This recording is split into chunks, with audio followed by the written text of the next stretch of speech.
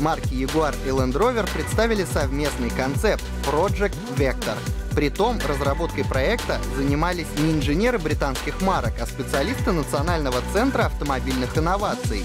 Несмотря на статус концепта, в конце 2021 года электрическая капсула появится на улицах британского Ковентри. Какие задачи будет выполнять однообъемник, пока не говорится. Скорее всего, это будет беспилотное такси. Кроме того, Project Vector можно использовать для коммерческих целей, например, доставки товаров.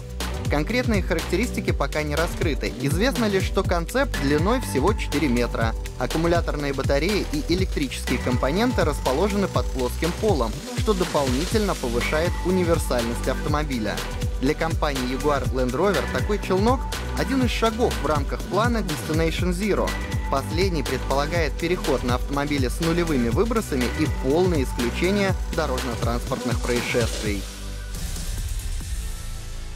Марка Kia продолжает раскрывать новый Sorento по частям. Сейчас корейская марка решила официально рассказать о двигателях.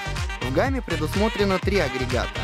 Для Кореи и Европы предназначен турбодизель из семейства SmartStream. С ним работает новый восьмиступенчатый преселектив.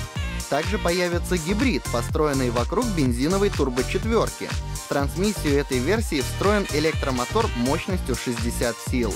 Для всех рынков, кроме европейского, анонсирован бензиновый турбомотор, который вытеснит из гаммы атмосферный V6. Впрочем, для других стран линейка двигателей может оказаться иной. Премьера Kia Sorento четвертого поколения состоится уже через две недели на Женевском автосалоне.